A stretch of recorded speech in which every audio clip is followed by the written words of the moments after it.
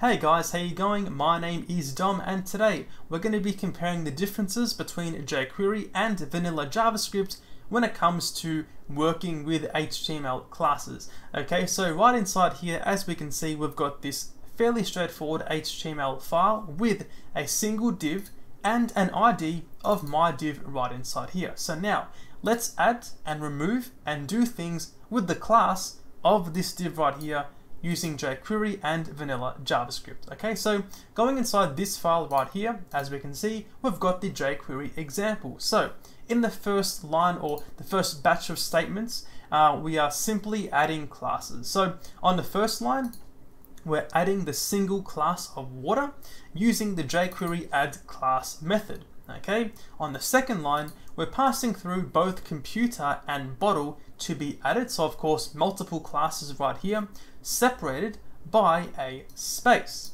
Okay, and then on the last line, we're once again adding multiple classes, both microphone and dcode. This time, we're passing through an array uh, as opposed to having the space between each one of those class names right there. And of course, that is adding your classes. When it comes to removing your classes, this is done using the very similar remove class method. As we can see, it's going to take in the exact same format. Okay, we've got the single class, we've got the classes uh, separated by a space, then of course we have the array right there. Okay, moving on to checking for the existence of a class. This is done using the has class method, and it's going to give you true or false if the class exists or not. Of course, in this case right here, if water exists, you're going to get true. If not, you're going to get false. Fairly straightforward. And the last example is using the toggle class method, and this one is simply going to toggle the existence of your class. In this case right here, if computer exists, it's going to remove it. If it doesn't exist, then it's going to add that class okay? And the very last line right down here is also using, of course, the toggle class method. This one takes in, once again, computer, but a second argument right here is basically an expression for true or false. If this right here gives you true, then the class of computer is going to be added. This case right here, if 10 is more than 5, this gives us true, so of course computer is going to be added. If this right here is false, then computer is going to be removed. And that right there is the toggle class and of course the whole jQuery example. Now, moving on to vanilla JavaScript, let's go inside here. As we can see, we've got basically the same examples. Okay, on the first line, I'm simply getting a reference to the div. I don't want to be writing out get element by ID multiple times in this file. So having a look at the addition of classes. As we can see, we are using the class list property. And basically, this class list right here is simply just an object attached to every element, which you can then call methods on to manipulate your classes. For example, you can say class list.add to of course add the class of water. If you want to pass through multiple and add multiple classes, you simply pass through um, essentially uh, your number of classes. For example, computer, then comma, then bottle, just as extra arguments to the add method. And the same thing works for remove, once again removing the single class of water, and then removing the, um, the multiple classes of both computer and bottle, okay? So when it comes to uh, checking for the existence of a class, it works in a very similar way to the jQuery has class example.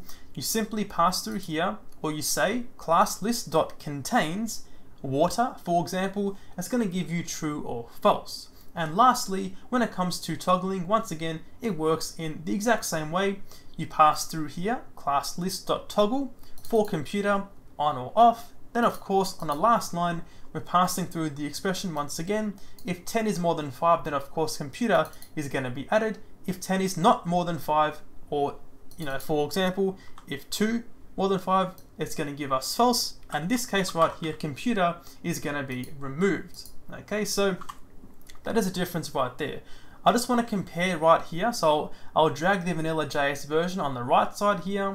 And we can see that the APIs are, uh, they are, they are quite similar in the way that they're actually laid out and the things that they do. But of course, the class list right here on the right side, the vanilla JS version actually has a few more features. So if you head onto the MDN, so uh, the reference for the uh, for the actual class list, of course, um, if you go to the elements.class list uh, property right here, as we can see, like I said, you've got this class list object, which allows you to do many different things to um, your classes. Okay, so um, the actual type of object for this class list is actually called a DOM token list. So if I go inside here, as we can see, we've got all of these methods which we can use against the class list. So for example, we, uh, we looked at contains, um, add and remove, and of course also toggle.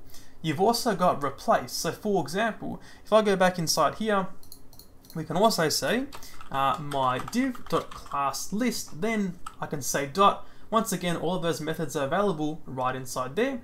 I can say replace, for example. So I can say dot replace, and then I can say replace computer with, for example, headphones. And of course, that right there is going to replace the class of computer with headphones on the actual class list of that um, of that HTML element. Okay, and that right there is the difference between jQuery and vanilla JavaScript when it comes to working with HTML classes. Thanks for watching guys and I'll see you in the next video.